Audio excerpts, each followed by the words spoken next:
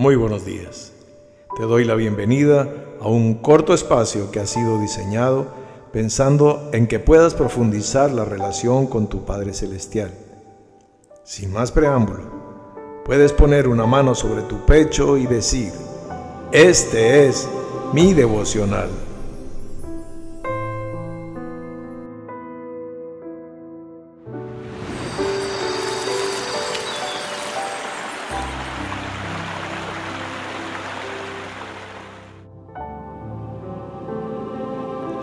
Para comenzar nuestro devocional, vamos pues a quemar el incienso de tus labios con el fuego del Espíritu que está en tu corazón.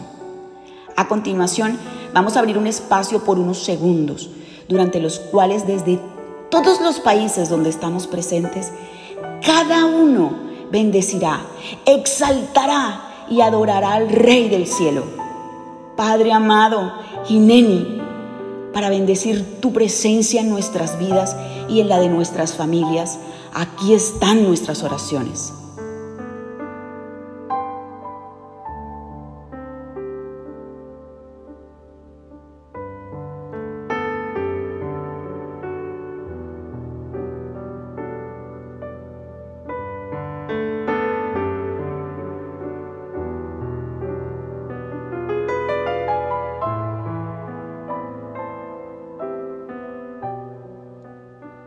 Amén.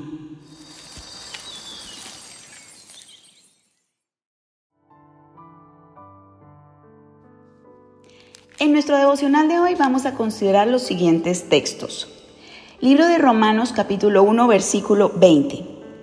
Porque las cosas invisibles de Él, su eterno poder y deidad, se hacen claramente visibles desde la creación del mundo siendo entendidas por medio de las cosas hechas, de modo que no tienen excusa. Libro de Romanos, capítulo 2, versículo 1. Por lo cual eres inexcusable, oh hombre, quien quiera que seas tú que juzgas, pues en lo que juzgas a otro, te condenas a ti mismo, porque tú que juzgas, haces lo mismo. Libro de Romanos capítulo 3 versículos 20 y 28. Ya que por las obras de la ley ningún ser humano será justificado delante de él, porque por medio de la ley es el conocimiento del pecado. Concluimos pues que el hombre es justificado por fe sin las obras de la ley.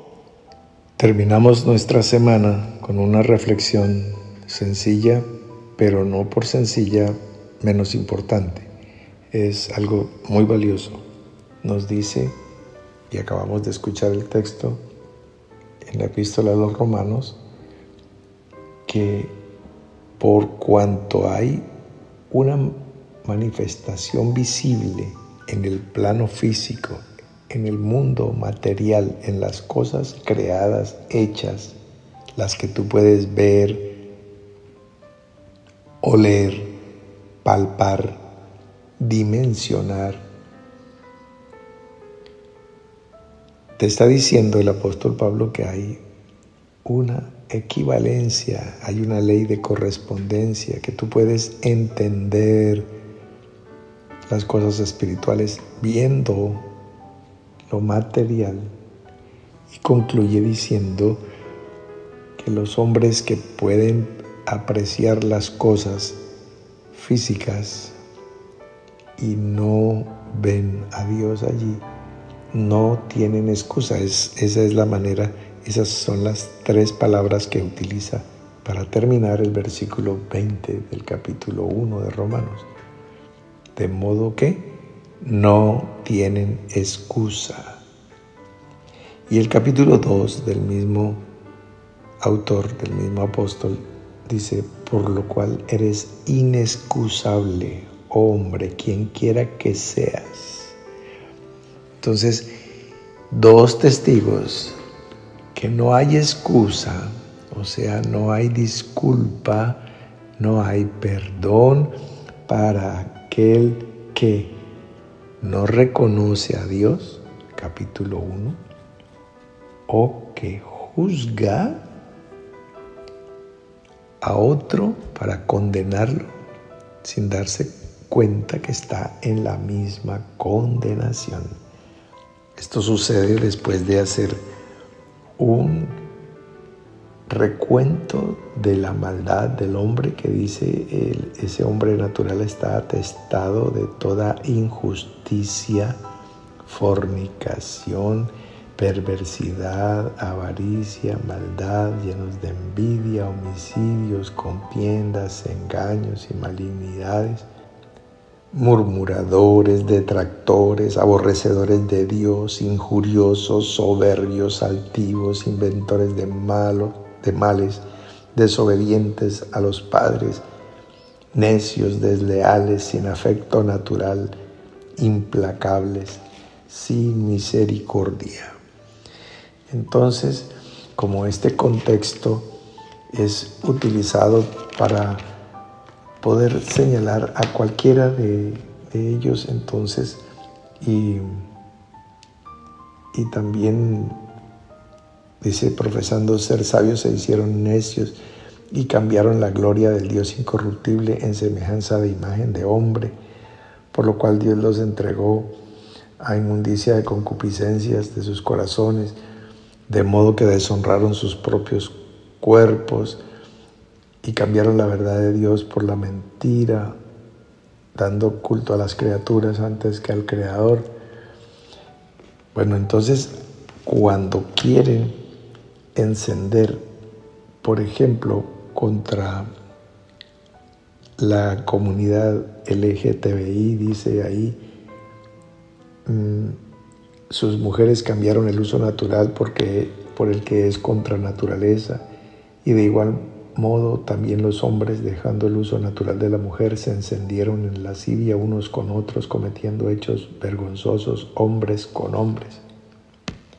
Entonces, se toma esa porción, siendo que está en el mismo, en el mismo texto donde dice todo lo demás que acabamos de leer. Mm. Avaricia. O sea, el que no es generoso es avaro. Y, y está en el mismo contexto. Y dice, no tienes excusa, hombre. Tú que juzgas, pues en lo que juzgas a otros, te condenas a ti mismo, porque tú que juzgas haces lo mismo. Está diciendo, por medio de la ley, todos los actos de desorden de, índole sexual como fornicaciones y es, está en el mismo contexto de envidias o de contiendas, engaños, malignidades, homicidios, desobedientes a los padres, está ahí. Entonces, ¿cómo concluye el apóstol Pablo semejante discurso lleno de sabiduría. Dice en el capítulo 3, versículo 20 de la misma epístola, por las obras de la ley ningún ser humano será justificado delante de él, porque por medio de la ley es el conocimiento del pecado. Y unas líneas más adelante nos concluye con esta sentencia que dice, concluimos pues que el hombre es justificado por fe sin las obras de la ley, por la fe en Jesucristo. Eso es, ese es el punto.